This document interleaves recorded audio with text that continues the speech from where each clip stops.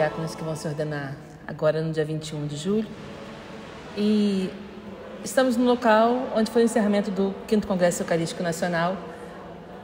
E também o lema que vocês escolheram fala, né? Reconheceram a partir do pão, que é o mesmo tema do Congresso. Então a gente queria conversar um pouco, começar a falar sobre o porquê né, da escolha desse tema e, e como é que vocês viveram esse período do Congresso e o Congresso trouxe para vocês.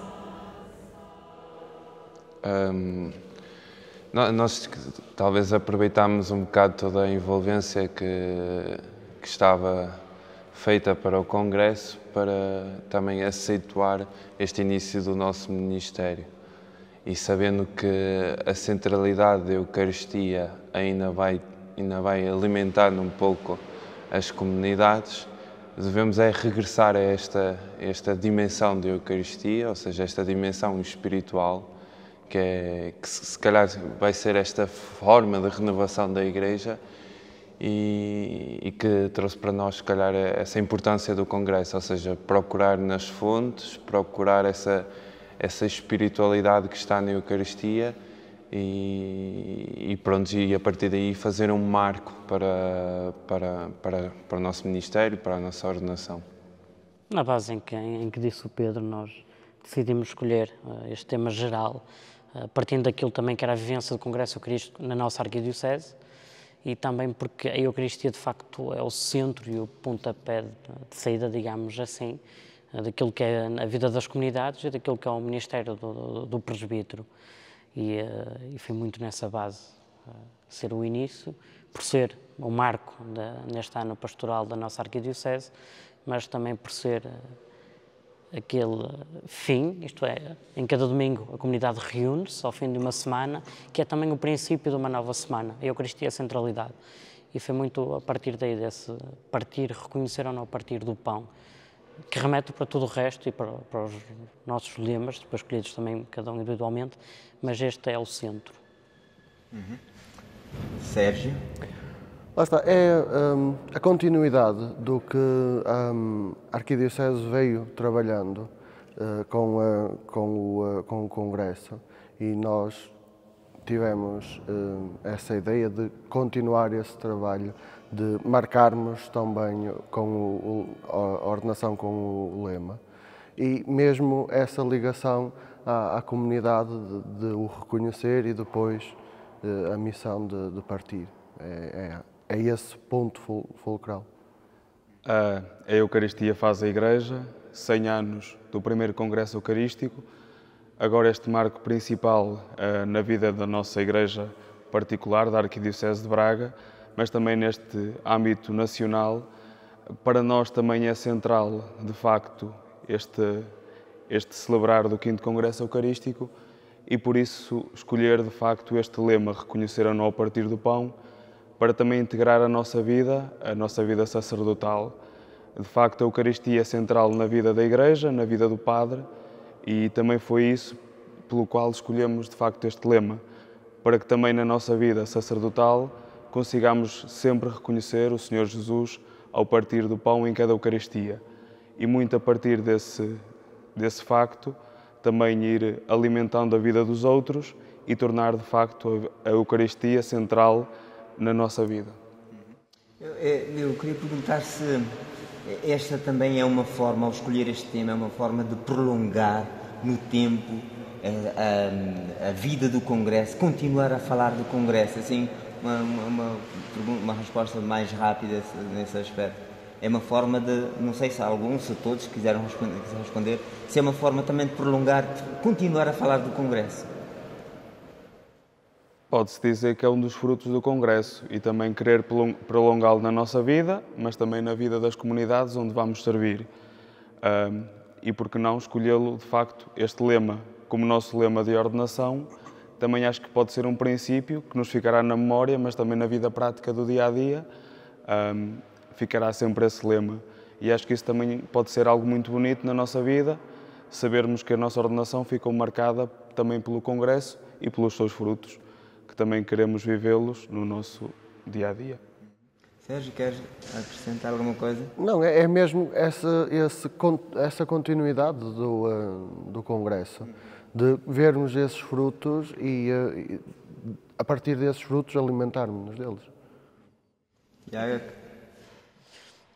Sim, uh, acho que vai um pouco também mais para além do lema, porque o lema é retirado do, do caminho de Amaús, e que é riquíssimo o texto de Amaús e que representa, creio eu, aquilo que é fundamental na vida do, do, do sacerdote, do, do, padre. E que o centro, sendo o repartir, o, o partir e repartir o pão, e o reconhecer este partir e repartir a central, e é, é contínuo, também dar essa continuidade, sim. Está um, quase há um ano de diaconado, não é assim? Ah, já, já completou um ano? Sim, para nós. Dois. É, quase. Nove meses. Nove meses, quase. Topo do parque. É, alguma, este, este tempo, como é que tem sido este tempo, assim, é, de diaconado, nesta experiência na paróquia? Estão a confirmar a vossa fé, a vossa vocação, está cada vez mais, mais firme? Sérgio? Começa agora por um nome que não tem, não tem nome de, de santo, de bíblico. Sim, sim, está a, a confirmar hum, muito do que, do que são as expectativas, do que pode ser a realidade que se possa encontrar na, nos estágios. E, e, sim, está a confirmar muito isso. Uh, Já agora principalmente... o Sérgio está em uh, de Baixo, sim, é? Sim. só para, para centrar as pessoas. Uh, e uh, está, está, está, a correr muito bem, principalmente da forma como somos acolhidos pela. Eu fui acolhido pela, pelas comunidades, sempre com um sorriso, sempre com aquela forma de apoio, de incentivo, de, daquele carinho muito grande pela, pelas pessoas e mesmo pelo pároco, pelo orientador, que também mostra esse apoio, esse incentivo, esse caminhar junto, que para mim, é uma das grandes coisas que deve existir. Tiago, já agora recorde-nos só exatamente onde é que, que, que, tem, tem sido o estágio paroquial, onde é que tem sido? Sim, eu tenho feito o meu estágio pastoral na, em Bruf e Santo Adrião, em Vila Nova Famalicão, eh, em que Santo Adrião é a paróquia de centro de cidade. Eh, está ser um desafio muito interessante e muito bom. Uh, não só confirma, mas também é mais de aprendizagem, porque passamos da teoria para a prática. E às vezes a prática uh, nem sempre é tão linear como a, a, teoria, porque a prática é humana. E isso é que é o belo da, da, deste tempo de, de estágio. Uh, olharmos para a humanidade das pessoas e perceber que ali está Cristo, na, em, em, alguma humanidade ferida, mas também não, naquelas humanidades belas e realizadas, e, que é diferente daquilo que, se, que é só teoria. É, é, um desafio, mas onde estou a aprender muito, onde o meu orientador também me, me ensina muito, muito daquilo que é na humildade, naquilo que é a escuta, e depois a prática pastoral, em que não me sentia tão envolvido, e cá está a teoria nem sempre ajuda, ajuda tudo, é necessária esta prática e de facto essa prática na, na, na paróquia de estágio está a ser um bom alicerce. André? Ah, Pedro. Pedro, Pedro. Ah, sim. Ah, eu penso muito no estágio, muito, ah, ou seja, às vezes costuma-se dizer que cada povo tem o seu Deus. Uh, e isso é, é, é, interessante porque quando nos aproximamos de uma comunidade nova, aproximamos de novas tradições, novos costumes, uh, novas formas de estar e de ser a igreja. Isso foi importante neste, neste tempo de estágio, nesse mesmo aspecto, ou seja, de, de aprender com o povo, uh, eles que são o, o senso fídeis da fé, eles que, que nos dão, em certa medida, que nos dão o ânimo, que nos dão o, o alento necessário para caminhar.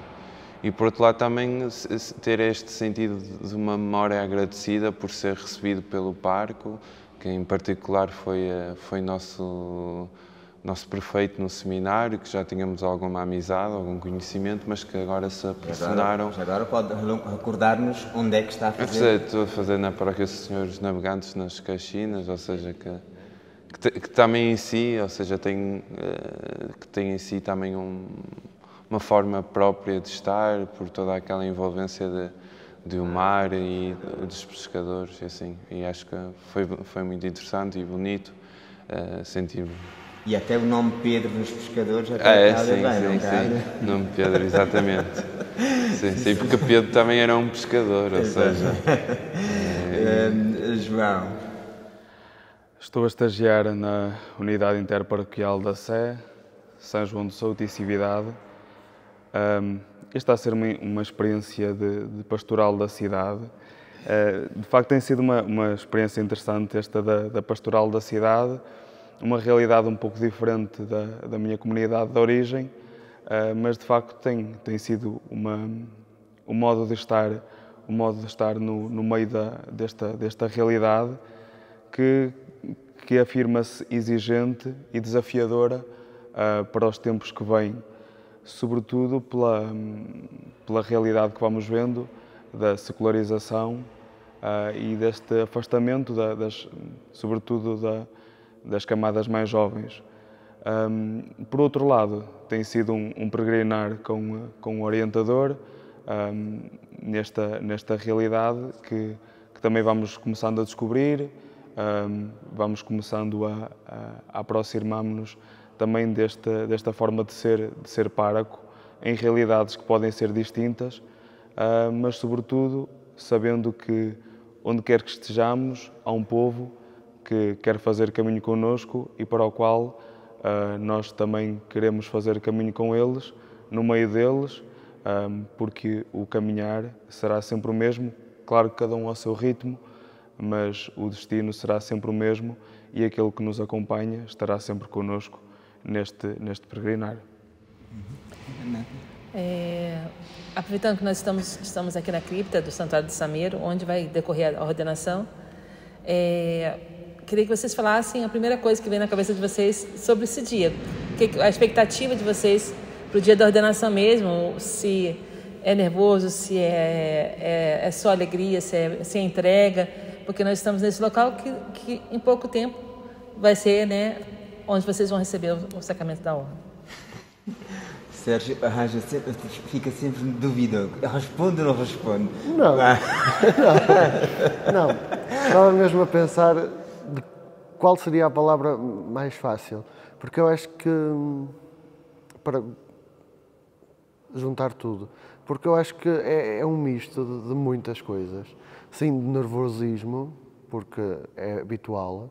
Nós estamos habituados a, a estar no altar, no entanto, agora de outra forma e com a ordenação é, é uma forma diferente, mas também com, com uma grande alegria, com uma grande certeza daquele acompanhar, de, daquele quem, que está sempre ao nosso lado, eh, que não nos larga.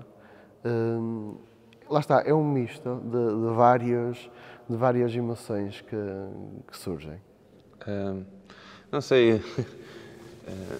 uh, de, se tivesse assim que pensar sobre esse dia, uh, eu, eu dizia que era entre duas formas de estar, que, que a alegria e a tristeza que andam sempre juntas. Costuma-se dizer a alegria e a tristeza andam sempre juntas.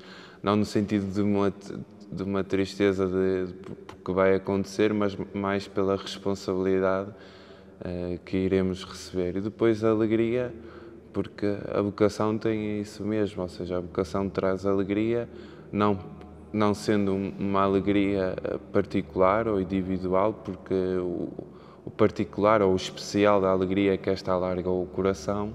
E é isso mesmo que a vocação faz. A vocação alarga-nos para os outros e faz-nos caminhar com os outros. Tiago? Numa palavra, confiante, embora isso comporte o nervosismo e a ansiedade do dia, também esta, este sentido de responsabilidade daquilo que é agora o ser presbítero, mas também a confiança de que Jesus chamou-nos e não nos deixa sós, que também está lá para, para nos apoiar, sendo que temos que o anunciar a Ele, não a nós. E, e, tem, e também este, este, sentido de confiança de que Ele está connosco. Uma palavra para esse dia acho que podia ser calor, porque de facto vai estar muito calor nesse dia, segundo se, se prevê, e de facto este é um espaço quente, uh, mas sobretudo pelo calor humano uh, e também se poderia dizer divino desse próprio dia, das famílias que se juntam, das comunidades que estarão aqui conosco, uh, também do presbitério, para o qual já fazemos parte, mas iremos fazer parte de um, de um modo novo. Um, e por isso acho que esse calor humano que também nos alegra, nos conforta uh, e que também nos ajuda a confirmar esta, esta nossa vocação. Uh, e por isso acho que a palavra para esse dia poderia ser calor, uh, tanto atmosférico como corporal, porque de facto será um momento de grande intensidade e de calor, quer por dentro, quer por fora. Hoje vocês são quase uma raridade, infelizmente, são cada vez menos os jovens via que... de Hã? Em via de extinção. Oxalá que não chegue a ser, mas... Rezamos todos para que não. É, mas, eh, e precisamente queríamos que nos falassem um pouco desta, desta vossa vocação, também lançando um pouco a rede, eh, para, com uma forma de apelo a que outros jovens para mostrar que isto não é assim tão mau. Não sei se, se me fazem entender. De, eh, fazer um apelo no sentido de venham, porque isto não é assim. Também tem, tem alegria, também. Acho que aquilo que poderemos dizer aos outros é, sobretudo, que esta vocação a sacerdotal uh, que se faz de homens, uh, homens humanos, porque isto é de carne e osso, como todos os outros, uh, e a vocação nasce mesmo disso, sermos humanos, que nos vamos questionando, também de outros que nos vão falando. Acho que, sobretudo, algo que vai falhando hoje é, de facto, esta, esta falta de, de contacto, uh, quer às vezes das comunidades, mas também das famílias. Perdeu-se muito este, este, este falar, sobretudo da vocação sacerdotal, mas também das vocações em geral. Uh, não é só da sacerdotal que há uma, uma decadência.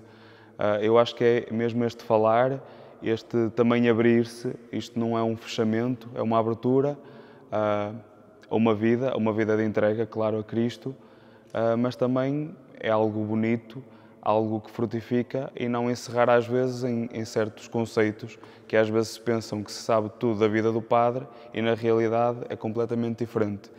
E sobretudo acho que hoje em dia também se segue muito as modas, as ideologias e, e, acho que o sacerdócio não, já não passa por uma moda, não passa por uma ideologia, passa sim pelo modo de vida, ou é um modo de vida, um modo de ser, que hoje em dia já, já não faz parte do cotidiano uh, das camadas mais jovens, mas também da, da, das famílias. Uh, e talvez seja esse o grande entrave a futuras vocações.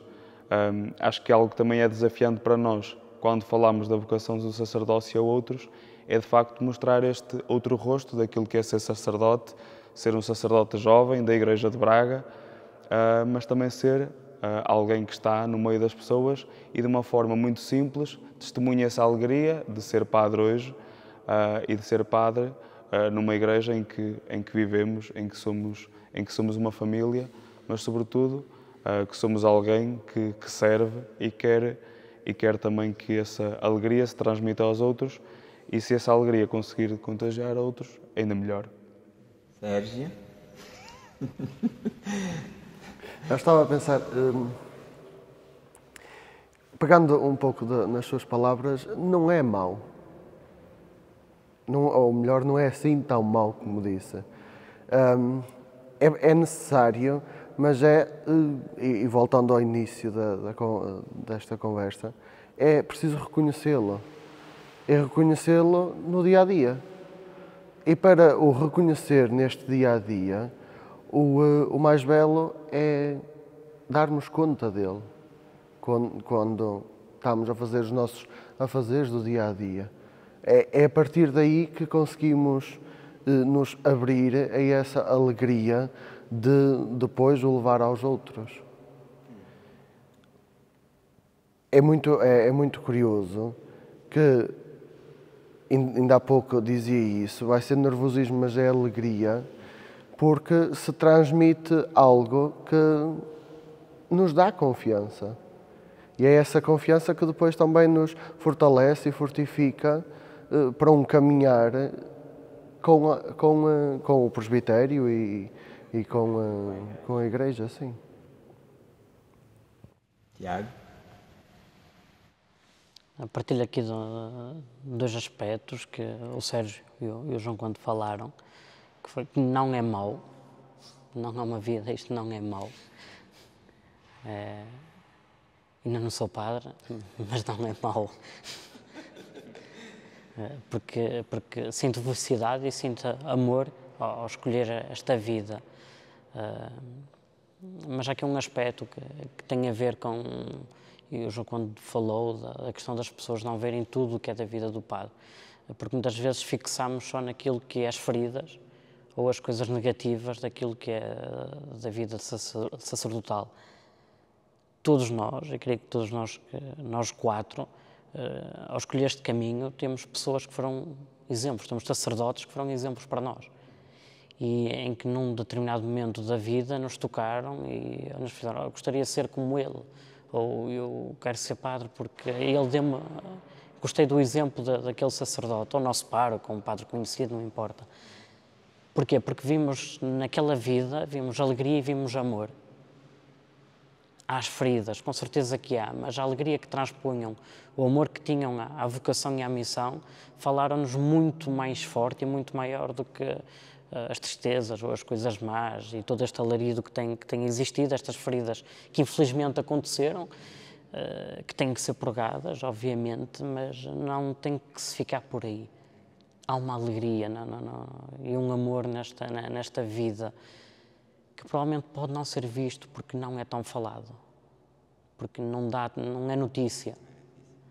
Uh, e, e, como o João Conde dizia, é, é também um desafio mostrar isto aos outros, é com a nossa vida depois como sacerdotes, mostrar esta alegria de que vale a pena escolher Jesus neste, neste estado de vida. Os outros são válidos, é verdade, mas neste estado de vida também é muito belo escolher Jesus por aqui. E, eh, e é mais um desafio.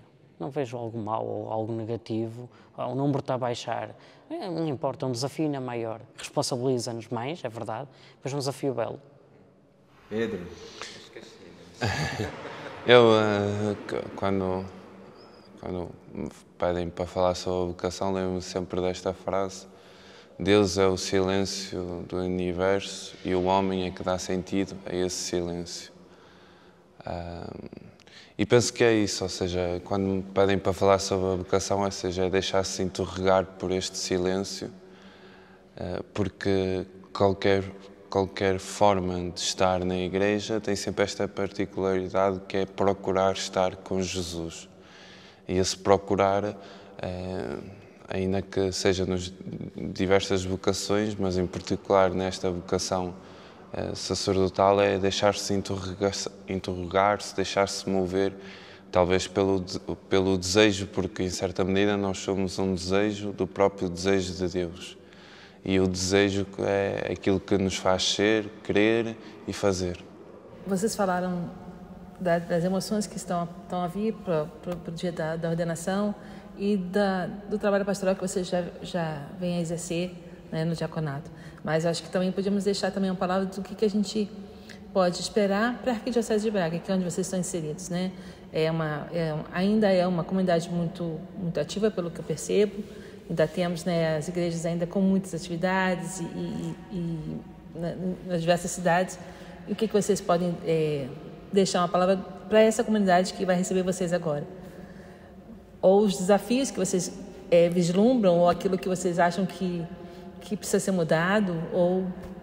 Deixa só completar, só para completar mesmo, para, para confirmar a vossa a resposta, porque hoje os padres são muito mais do que uh, celebrantes.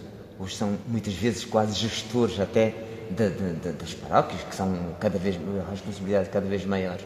Portanto, é mais nesta, é só para completar a, Sim, a pergunta da. mesmo da comunidade. Exatamente, exatamente. Da, é. da, da, vida da comunidade. Né? É, é só para completar essa, essa parte. Quem chuta primeiro? João, que não falava há mais tempo.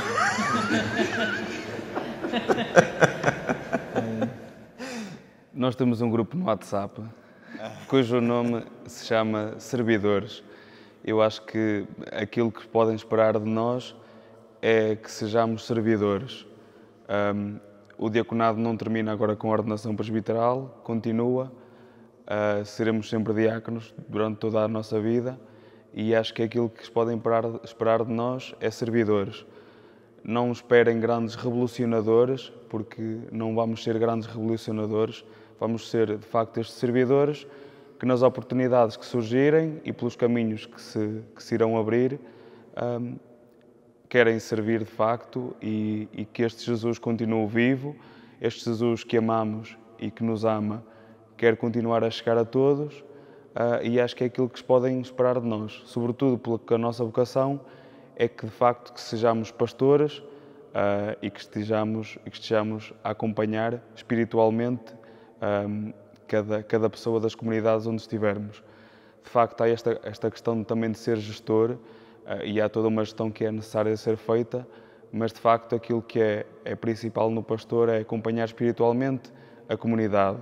E por isso será sempre esse o, o nosso fundamento, com tudo o que nos for pedido, uh, claro, uh, mas acho que é sobretudo ter esta, esta missão primeira que é acompanhar espiritualmente as comunidades uh, e servir naquilo que for a nossa missão, acompanhando os desafios de agora, os desafios que virão, porque esperamos que sejamos padres durante muitos anos, uh, mas que seja também esta alegria que testemunhamos aos outros e, e vivamos neste modo de ser e neste modo de estar, respondendo às exigências do dia a dia e às exigências que nos forem pedidas, sabendo que não estamos sós, que vivemos num presbitério e que muitos outros também estarão connosco e nos acompanharão neste, neste caminho, que certamente será muito bonito, porque já começa a ser uh, e terá as suas alegrias, as, as, suas alegrias com as suas dificuldades, mas na certeza que, de que Jesus está sempre connosco.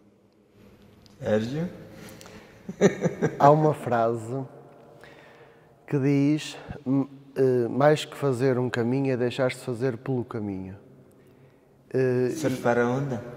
Pode-se dizer isso, eu, eu não, não, faço surf, eu não faço surf, é mais para o Pedro, para, para a beira das Caxinas, mas uh, é um pouco isso que eu levo uh, para, para a minha vida, entre aspas.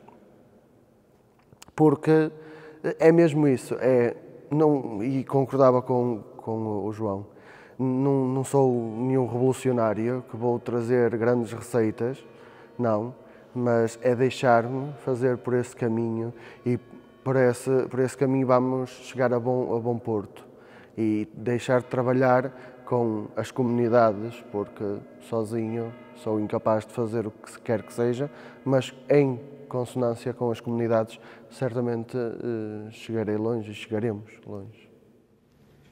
Tiago? Eu acho que o João quando e o Sérgio já, já disseram tudo.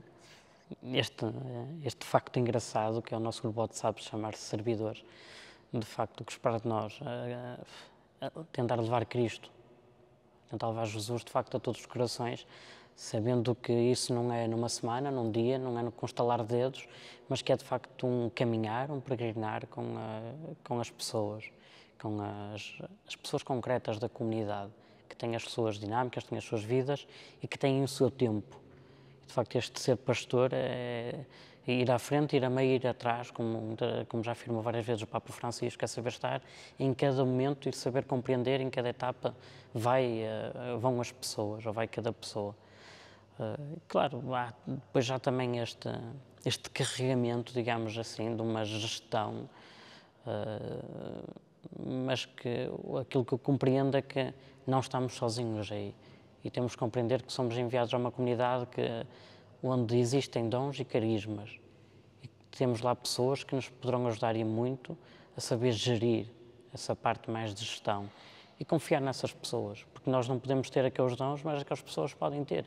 E Jesus Cristo também fala através dos dons dessas pessoas. Portanto, é saber trabalhar com, com os leigos, e os leigos têm muito, muito para nos dar e muito também para nos ensinar e saber trabalhar com eles. Nós não somos os donos das comunidades, as comunidades já lá estavam quando nós lá chegarmos. E se sairmos um dia, elas continuarão. Uh, portanto, vamos para servir, para levar a Cristo e nesse papel de gestão, saber também recorrer a recursos que Deus nos dá através das pessoas, os dons e carismas que, que essas pessoas têm. Muito bem. Pedro? Um, é mais fácil que ele vai buscar o João Mar. É para nós é ser estes, viver esta solidariedade de Jesus e procurando sempre ser uh, uh, quase como poetas do Evangelho. Ou seja, não, nós somos chamados a, vi, a viver é isso, ou seja, viver o Evangelho. Eh, antes de terminarmos, a ideia é que vocês façam uma, uma espécie de apelo às vossas comunidades para que venham participar nesse dia. Um convite, não é? Um convite, que venham participar nesse dia na vossa, né, que é um dia importante para vocês. Alguém assume porta-voz ou vocês todos, uma, uma palavra para, rapidamente, todos vocês, uma palavrinha para chamar a vossa comunidade, familiares? Venham, familiares, amigos, comunidades, comunidade de estágio, porque esta vocação também é vossa, não é só nossa. Não, é isso, as nossas comunidades que venham, de origem e de estágio, as nossas famílias, porque crescemos também no meio da, das comunidades e a nossa vocação faz através delas e também para elas. Eh, que venham as comunidades, eh, tanto a, de onde sou eh, de origem, quanto as de estágio, porque é, é um caminhar em, em crescendo, onde a de, de origem me viu crescer e dar os primeiros passos, enquanto a, a de estágio me viu nestes últimos meses a trabalhar com eles e com, as duas unem-se numa alegria muito grande que, que é viver, viver lá aqui no, no dia 21. E unidos à Igreja de Braga e de, de João Paquinhã. de facto, é com alegria que, que convidamos as nossas, as nossas comunidades eh, de origem, também as comunidades de, de estágio pastoral, mas também toda a Arquidiocese, porque de facto esta é uma festa que não, que não é só nossa, mas é de toda a Arquidiocese. A cripta do Sameiro é bastante grande, como se vê, e acho que esta, esta é uma festa mesmo para que seja vivida por todos, porque, porque de facto é uma entrega a Jesus, mas também nesta igreja, nesta igreja concreta, e por isso acho que é algo que, que deve ser vivido por todos, e por isso também nós agradecemos a presença daqueles que, que tiverem gosto em estar uh, e todos aqueles que também talvez não, não possam estar, mas de certa forma, o nosso coração sente-se agradecido por este, por este povo que também está connosco e por muitos que já nos, já nos agradeceram. Obrigada. Obrigado. Obrigado. Obrigado. Não gostou muito, mas não? Um bocadinho.